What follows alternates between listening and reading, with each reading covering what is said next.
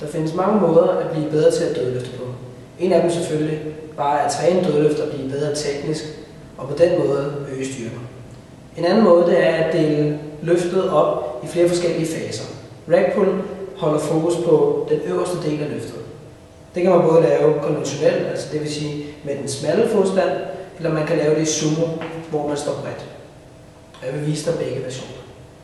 Det, at man deler løftet over, det gør, at man kan fokusere på den ene del. Det vil sige, her i den øverste del vil det primært være, at man bruger drivet i hoften til at afslutte bevægelsen.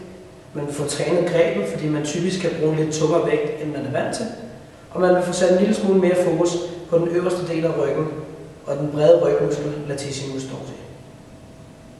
Det vigtigste fokuspunkt, når man laver rack pulls, det er, at man hele tiden holder ryggen ret, og man prøver at trykke med benene.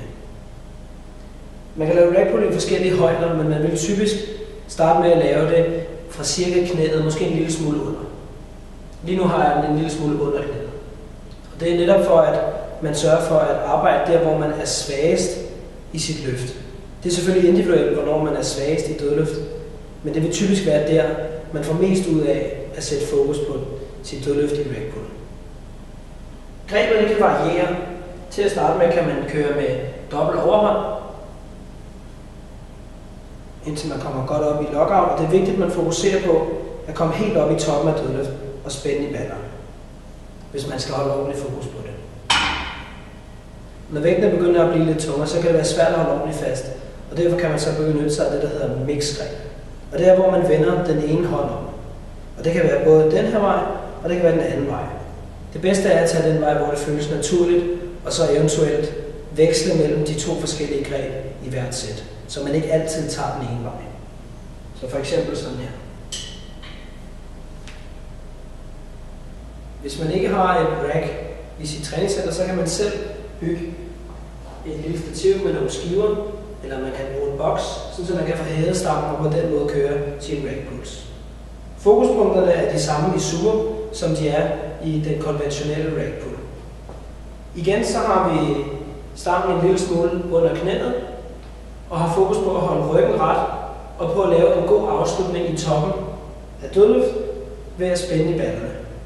Grebet er igen på samme måde, valgfrit mellem at man kan bruge enten dobbelt overhånd, eller man kan vende den ene.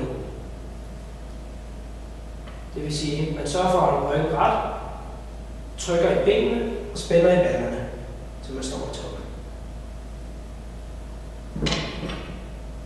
Og igen vil det være en øvelse, hvor man vil kunne få lidt flere kilo på, og på den måde presse toppen af dødløft.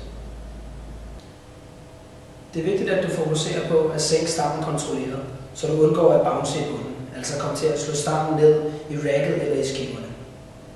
Det kan du undgå ved at, at have en god vejrtrækning, altså at du oppe i toppen tager en dyb indånding, så du kan holde spændet og undgå at bounce.